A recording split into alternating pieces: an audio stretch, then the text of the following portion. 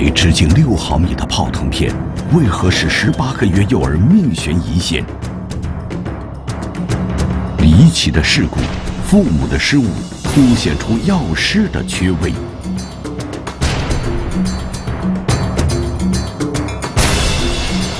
见证本期播出《药案寻踪》第二集。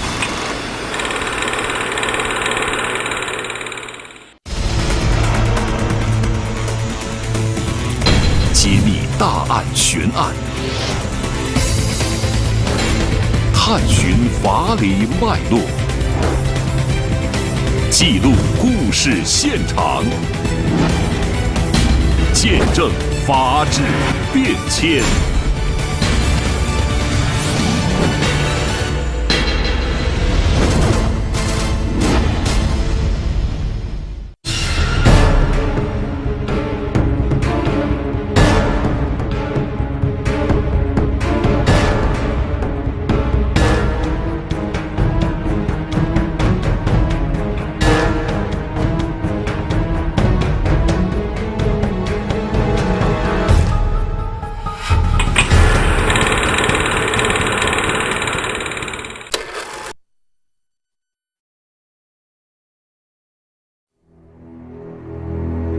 一四年四月，天气渐暖，正是流感多发的时节。某小区的一户人家里，突然响起一阵异常剧烈的咳嗽声。让人揪心的是，谁也没有想到，发出这凄厉声音的，竟是一个年仅十八个月大的孩子。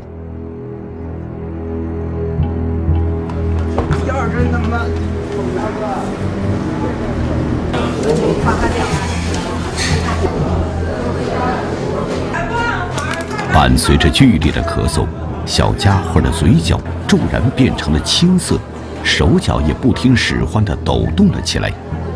看着儿子异常的表情，以及几经摇晃仍旧没有反应的身体，年轻的母亲一下子懵了。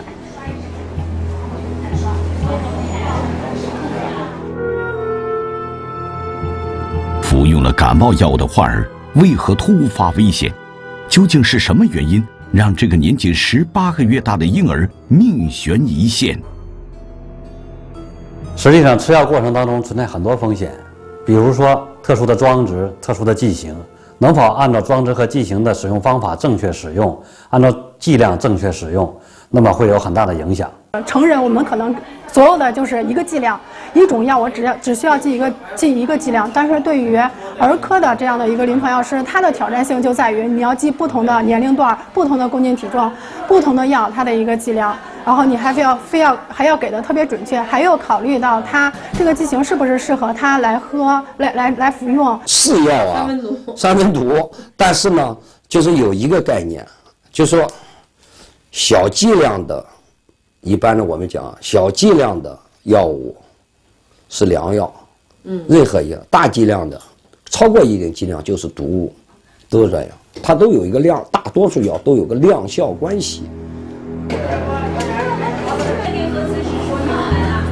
剂量超标、用法错误、个体差异，到底什么才是导致孩子身体异常的真正原因？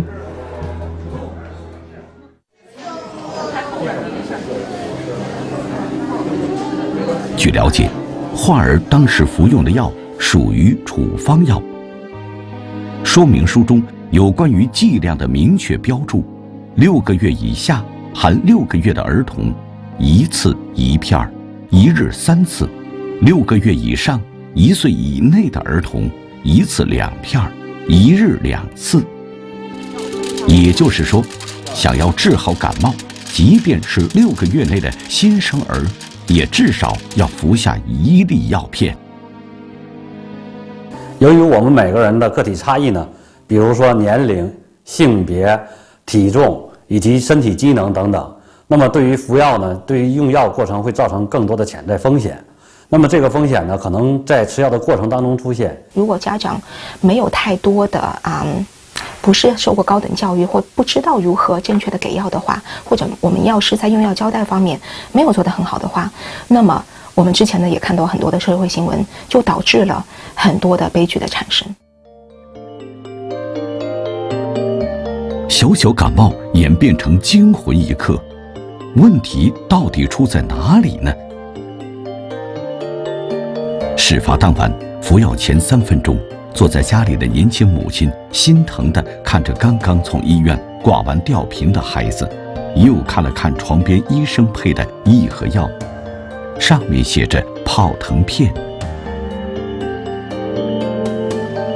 爱子心切的母亲没有多想，就麻利地从盒子中拿出一粒直径约六毫米的泡腾片，塞进宝宝的口中。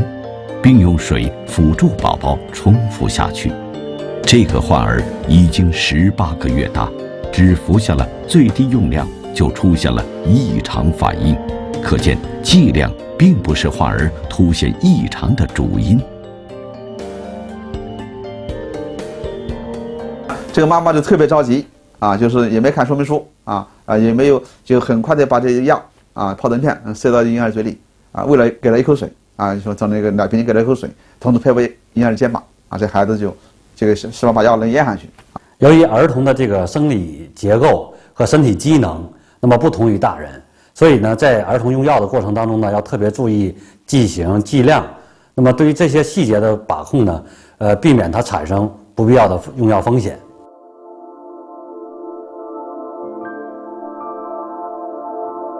泡腾片。在我国是一种较新的药物剂型，与普通片剂不同，泡腾片是利用有机酸和碱式碳酸盐反应做泡腾崩解剂。只要将药片放入水中，即可发生泡腾反应，生成并释放大量的二氧化碳气体，状如沸腾，故名泡腾片。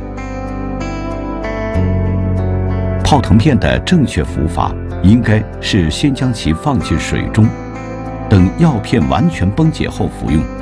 若将未完全崩解的泡腾片放入口腔，则崩解过程继续，并会在口腔内产生大量二氧化碳。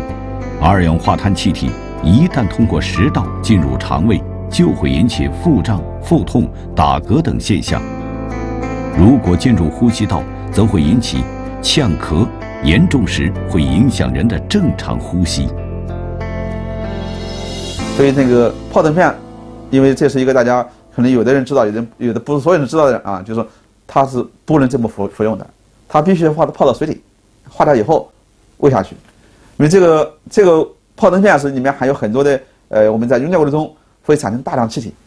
说这个小婴儿呢，因为把泡腾片吞下去以后啊，加了一口水，产生大量气体，吸到气管里边去了。哦，就是把肺里边给吸进去了。为什么给一个孩子吃一个比较有危险的剂型呢？是吧？那么是不是可以换一个，是吧？其他的冲剂啊，或者怎么样的，不不容易把呼吸道呛住啊？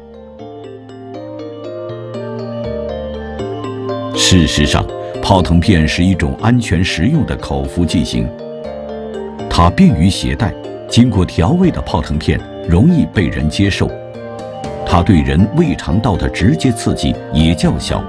但这种剂型在提供便利的同时，也存在着使用不当的巨大风险。干服泡腾片所引发的意外与异物卡喉相似，相比于成人，泡腾片更容易依附在纤细的儿童气管上，因此儿童片剂卡喉窒息的风险远高于成人。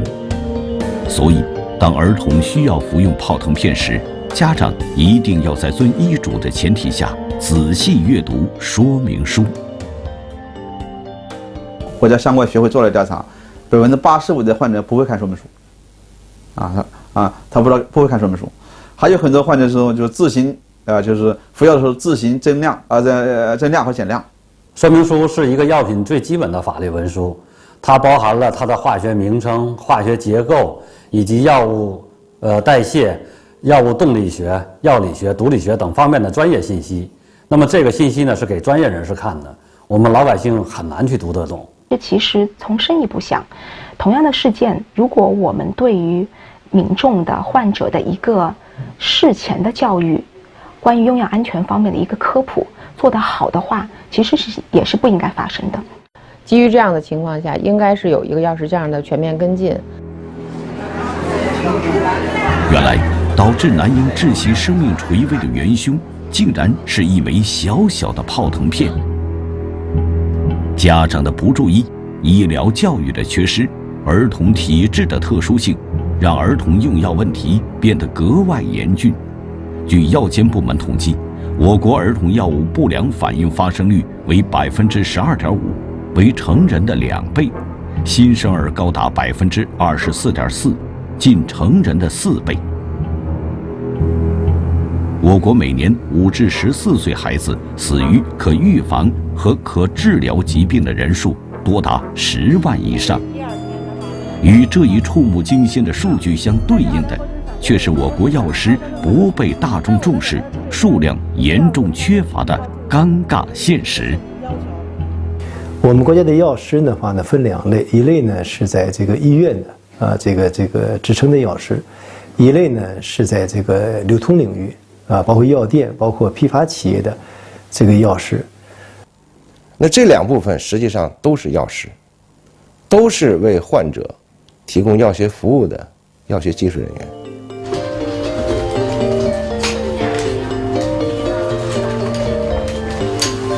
同是药师，却分属两个部门管理。由国家卫生计生委管理的四十多万医疗机构内的药师。实行专业技术职务任职资格制度，而由国家食药检总局负责管理的药品生产流通领域内的三十多万药师，则按职业药师资格准入管理。我国目前现行法律中对药师的责权利定义也并不明确。我们国家确定药师制度，要从一九九四年说起。当时的人事部和医药管理部门联合发布了执业药师资格的呃暂行管理办法，呃，这么一个制度一直延续到现在。但是由于没有严谨的法律制度，所以中国的药师的社会地位、它的作用，包括呃没有相对严谨的这种准入的制度以后。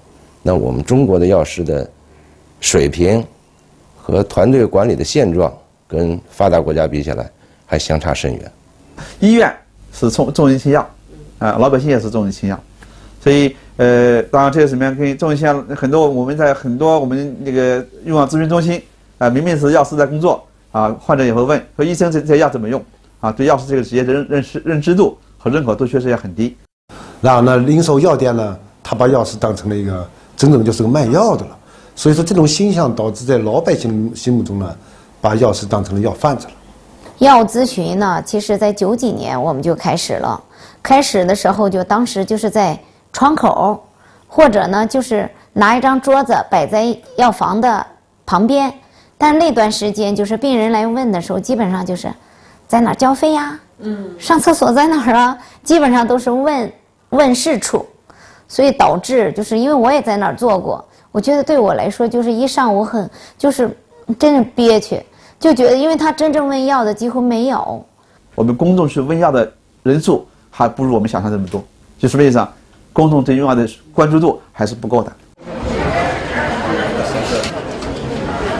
药师地位和作用不但在公众的认知度低，而且自身定位也模棱两可，薪资待遇更没有保障。这些无一不是药师数量短缺的重要原因。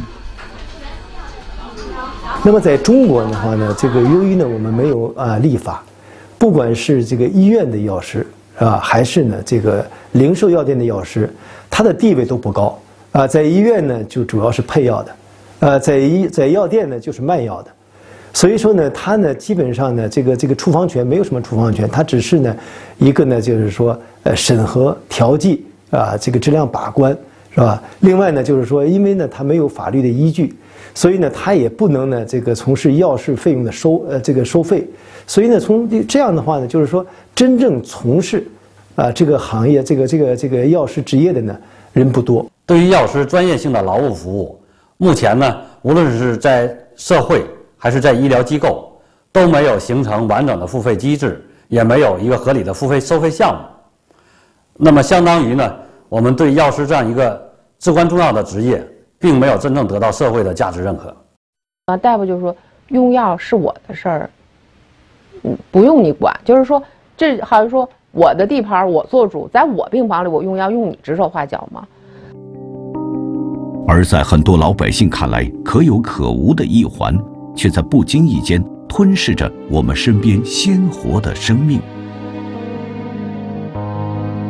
我举一个简单的例子，也是非常惨痛的，就是在这个零一二年的时候，我们有一起医疗纠纷，就是我我去鉴定的，就是一个村医给一个少年在开药的时候，就是问了这个患者，这个患者呢是有青霉素过敏，过敏史，他就患了头孢唑啉，他开了药以后呢，就给了这个输液的护士说你给他输液吧。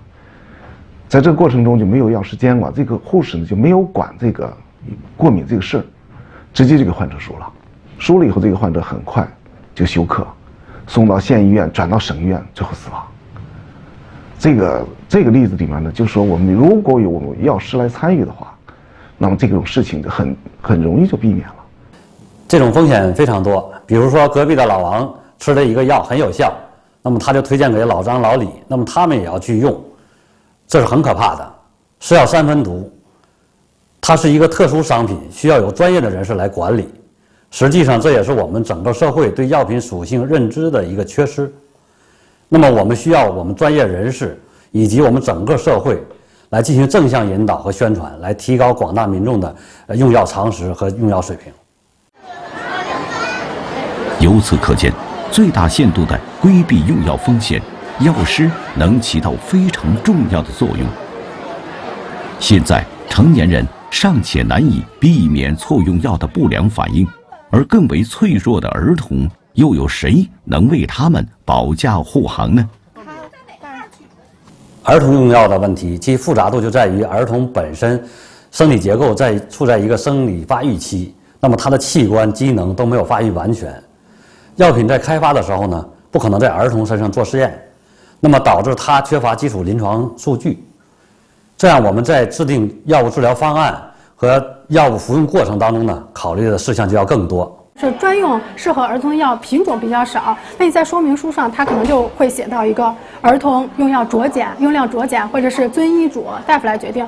那大夫也判断不准的同时，那需要我们去帮助，我们要查阅很多的东西，来跟他一起来制定这个用药方案。因为它这么小的机体或者是脏器。还是在没长全的时候就用药，尤其用这个毒副作用比较强的药的情况下，会影响他后期，呃，他长大以后的对脏器的一些损伤，所以这一阶段的药师就显得特别重要。夺命泡腾片让孩子生死未卜，大众健康教育的不足更凸显药师的缺位。生命的代价能否换来对药师的重视？失去与得到之间，跨越的是时间与生命。见证正在播出《要案寻踪》第二集。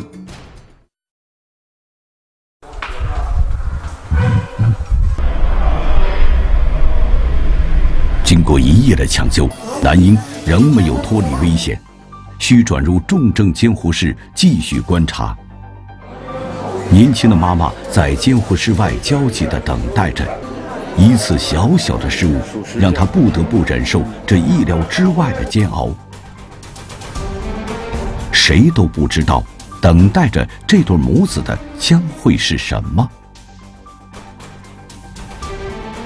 如果说了，作为一个纠纷来审理的话，那么可能，那么责任人医生是一个，是吧？他的家长。也是一个孩子嘛，才是无辜的，是吧？他是没有任何责任。那么这里头的话呢，就会看到药师呢，他是缺位的啊。我觉得第一责任不是我们的妈妈啊，因为从理论上讲，这个第一责任是我们国家啊，卫生健康教育的素养教育啊做的远远不够啊。我们从小学到大学到初中到高中到大学，从这所有的课程里面，没人给我们的这些学生讲过药品为什么做成胶囊，为什么做成片剂，为什么做成泡腾片。为什么做成栓剂？没人讲过，所以妈妈这个对这些方面知识缺乏的，啊，所以这个责任应该是我们讲是我们的健康教育、素养教育方面做的是不够的。整个从医疗环节来讲，如果从法规很严也严格的这个这个这个这个这个国家来讲，那药师他是有责任的。那就刚才我讲的，那么你医师开出处方以后，药师他要把一下关。那么在他把关的时候，他发现这是一个泡腾的剂型，很可能他要提建议，是吧？那么他也可能给医生提建议，甚至也可以给患者提建议，或者说他留下一些书面文字上的建议。那么这个可能的话呢，这个悲剧就能够避免。当代医疗工作模式是一个团队工作的模式，医药护等专业技术人员协同工作，才能保证医疗工作取得预期效果。药学已经与医学、护理学一样，被作为临床学科，三者被认为是构成医疗生存与发展的三大支柱，缺一不可。世界卫生组织对药师的定义也是很严谨的，它属于药学服务，是对人体、人类健康，呃，起到一个促进作用，又是公共卫生。方面最重要的一个角色，我们不是搞药的，可能我们对一些药的，你比如说对一些药的用法、用量上面，可能就是说是记得不是特别的那么完全，对吧？或者说一些机理方面，尤其是在禁忌症方面，可能记得也不是特别完全。当他们就是说是跟我们一起查房，在我们就是说平常开医嘱的过程当中，他会指导我们，指导我们正确的去用药，包括说一些禁忌症，去不让我们去用这个药。包括说用法用量都可以。我们作为药学管理人员，我们比较注重的，比如说你医院药房必须配备啊，配备多少的药师啊，这是一个法规。比如说多少病床，你必须同时配备多多大规模的一个啊药师或者临床药师的这么一个队伍，你才能够更好的去服务你的病人。再加上他那个胸部 CT 提示那个右下肺。实践证明，药师已经成为连接病患、医师和药物的重要纽带。国家现在强调是，中国的全面中国的要要要健康，健康用药问题、医疗问题不解决，那全面健康也很难很难实现。所以用药安全问题，我觉得理论讲，用药的安全比食品安全还要重要，啊，因为食品安全，比如说某个添加剂超标啊，或者说这个某个食品超标，它不会死人，啊，可能会拉肚子啊，会出那些，但是用药错误没人把关的话，那是人命关天会死人的，啊，药品质量会出了问题也会死人的。我们国家的临床药师就比较少，呃，北京是属于配的比较多的标配，是一百张床一个，呃，在我们医院是基本上达到了，但是好多医院还达不到一百张床一个。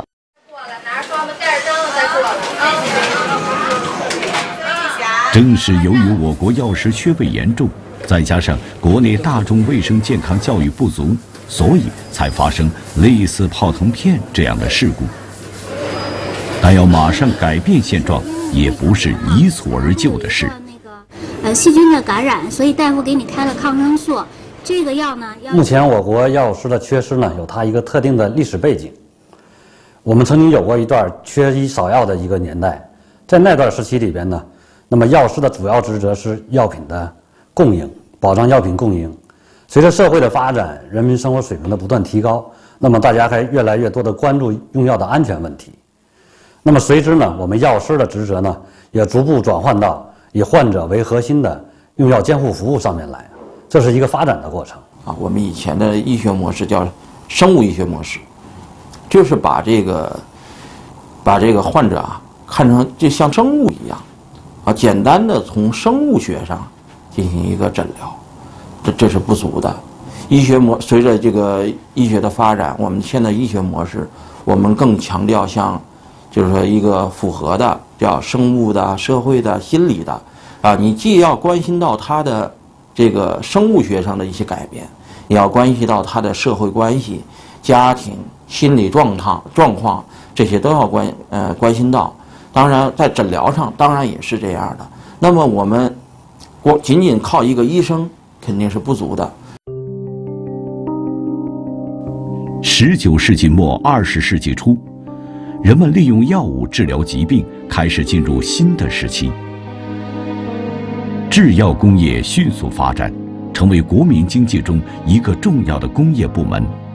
药学不仅成为一门独立学科，还逐渐分化为药剂学、药物化学、生物药学、药理学等分支科学。同时，药师的需求大大增加，并促进了药学教育的发展。研制新药所产生的经济效益，吸引了大批科学家从事药物科技工作，药房数目逐渐增长，合理用药已成为医师研究的重大课题。一八六九年，美国开始建立药师制度，随后各州还有各自的州药房法，以规范药师的职业活动。日本、英国等发达国家已先后建立了药师制度。国际上大部分国家都有药师法，那么在他们国家呢，不但有药师立法，而且在社会上呢，药师也是最受尊重的职业之一。比如说，在美国和加拿大，那么药师的职业受尊重度呢，排在消防员之后，那么甚至是排在医生之前。我们药师能够来协助，作为我们整个医疗团队里的一份子。能够协助以医生为核心的这个医疗团队，把患者用药的这块这个可以说不足来进行弥补，可以说帮助我们医生能够减轻他的一些这个工作压力，或者说他工作上的一些不足，是很有好处的。在日本，日本的药师都会去。中学、小学、大学里面都会去讲课，啊，按照国家大教材去讲课，啊，是宣传我们的呃科学用药、安全用药的常识啊，介绍啊，那什么叫冷藏，什么叫冷冻啊，什么叫阴凉处，啊，什么叫空腹，实际上好多老百姓搞不清楚，当然这些是常识，应该是每个公民知道的。比如气雾剂怎么使啊，然后还有一些冰箱保存的药品，你怎么来保存，怎么来用？因为像那个胰岛素、笔芯儿什么的，呃，装上以后。常规的老百姓都是因为是冷藏药品，二到八度的嘛。但是你开封以后是需要常温保存的，因为这些很多老百姓他不清楚，所以都需要我们的药师把这些有交代给病人。现在综合理综合判断，建议在前三个月我们来使用一下小剂量的阿司匹林治疗，因为我看了一下咱们呃整体的这个。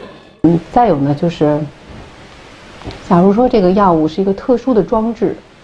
这种特殊的装置呢，有很多患者他其实医生没有时间给他讲，他拿回去装置以后他不会使。嗯，我们在咨询经常会有人，比如说会拿过来以后认为这个装置坏了，其实是他使的不对。现在随着科技的发展与医疗水平的进步，各种新型药物也层出不穷。这些新型药物一方面可以更有效地治疗疾病。另一方面，也对患者如何安全用药提出了新的要求。因此，药师的专业服务需求将会越来越迫切。这个是哪？咱们一定要把这个事儿做落到实处，把这个态度认真起来。别因为咱们都觉得很熟悉的工作了，放松了要求了，咱们的一个小失误，可能给病人造成，给自己也造成很多麻烦。一定记住，因为咱们年轻人现在比较多，啊，年轻的药师比较多，参加工作时间也不是很长。有的同志，千万别放松这根弦。原来叫药剂科，现在为什么就是越越来越升格到药学部，就带有这个科研教学都放进去了。现在这药师部呢，就把职能的性质也放进去了呢。它就是因为还有一个全院的这合理药的管理，嗯，然后呢，就让它趋于合理嘛。实际上没有说这个对啊错呀，它其实是合理的，针对一个病人就是好的。二零一四年四月二十八日下午，重症监护室内传来噩耗：错误服用泡腾片的幼儿因脑部缺氧时间过长，抢救无效死亡。孩子的母亲无论如何都没有想到，一颗小小的药片会夺走孩子的性命。原本安全、易于吸收的泡腾片。竟然因为服用方法错误而变成了害人的凶手。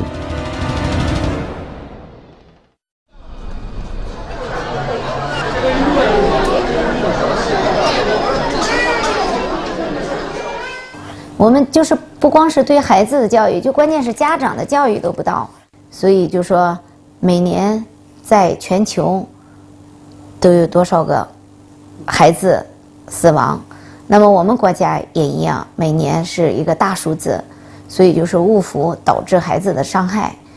药师必须以一种专业的服务去存在，它帮助我们每个患者、每个家庭降低用药风险，确保用药安全。夺命泡腾片在他人看来只是一个耸人听闻的新闻标题，而对于当事人却是实实在在的切肤之痛。这样残酷的难题真的无解吗？如果再这样下去，我们的会有很多的惨痛的代价来换的。健康是人最宝贵的财富。也是人们最基本的权利。从原来医生做我们健康的守护神，到现在药师也加入守护的行列，人们的生命健康就会多一道保护屏障。健康是一个大的概念，那么对于健康影响比较大的呢，就是药。药一旦吃错了，它对身体带来的伤害呢是直接的，会药害会带来直接的器质性的、功能性的伤害。那么同时呢，它也会带来很大的经济性的危害。年仅十八个月的孩子意外离世，谁是凶手？是一粒小小的泡腾片吗？是分身乏术的医生吗？还是那位爱子心切却粗心大意的母亲？通过泡腾片的案例，告诉母亲给孩子吃药。一定要遵医嘱，医嘱说不明白，一定要看说明书。说明书顶上看不明白，一定找一个明白人。您是刘水英是吧？对，你好，我是您的药师，嗯，我叫张冠敏。然后今天您不是开始化疗了吗？我来跟您讲讲这个化疗和您呃需要您注意的这些药物的一些一些事项啊。呃，您之之前化疗的时候吐的厉害吗？还行，还行，还行不是多厉害。你不想吃东西，他出院以后能好点吗？出院以后就是嗯，回家慢慢尝一点，这个明天一吃那个止吐的，比比现在好的还好，啊，比现在还好。对，它止吐的那个药会有一点就是增进食欲的这么一个作用。对，明天吃了，后天吃了也能吃饭，也能吃饭。那再过几天呢？再过几天就不得想吃饭，因为那个我也不敢吃那个药了。医生是前锋，药师可能就是后面的守门员。啊，所以不能要错误的处方、错误的医嘱，到了我们进到进到我们的这个这个病人身上。所以药师立法通过这个来保证，啊，药师你必须要审核处方、审核医嘱，啊，医生你必须接受，啊，如果你没做这个事情，你或或者做到了，啊，你没有能力做，或者你不做，将来你要受到法律的一个处处罚。这样呢，我想我们公众的生命安全、用药安全才能得到保障。啊，我想这药师立法的重要性，应该全世界都很多国家都有药师立法啊。中国，我想政府应该发展到我们中国发展到现在这个状态，应该关注健康了，应该关注医疗安全、因为安全了。二零一四年四月二十八日，错误服用泡腾片一天后，一个鲜活的小生命因为这个小小的错误而失去心跳。无数相似的悲剧，如何才能不再重演？从这个一四年开始，医管局不也是号召，就是所有的那个二十二家医院都在做这个咨询中心嘛？实际上是给这个患者和药师创造了一个很好的条件，可以坐下来慢就面对面的来进行交代。所以在这里面呢，嗯，特别关注的是这个，比如特殊装置，还有这种复杂的，用很多药物的，像这样的药物的这种我们叫重整吧，就它的梳理，啊，发现一些其中的问题，然后去指导这个患者。二零一六年四月，经过十几年的调研，中国的药师法立法被纳入国务院立法工作计划之中，进入立项研究阶段。中国目前为止应该非常重要的时期，啊，因为医生，中国的医生有医师法啊，护士有护士的一个相关法律。中国药师目前没有法律，目前人家说药师还处于一个叫无法执业的情况下，或者是非法执业的情况下，说的再严重点叫非法执业的情况下。啊，这是我觉得对我们现在中国的法治国家来说，这是非常，我觉得是非常需要迫切解决的一个问题。目前啊，我们实际已经起草了这个药师法的初稿，而且经过广泛的征求意见，目前我们已经经过几轮的这个讨论，目前已经形成这个药师法的第二稿了。可以说啊，就是说随着我们工作的推进，我相信在各个部门的大力支持下，药师法能够尽早的、尽快的，就是说出台，来为我们药学人员、为我们这个老百姓的生命健康提供一个保障。在失去与得到之间，跨越的是时间与生命。谨遵医嘱用药，却让自己病情出现反复。同样的药物，为何出现不一样的结果？专业的药师离我们还有多远？见证下期播出《药案寻踪》第三集。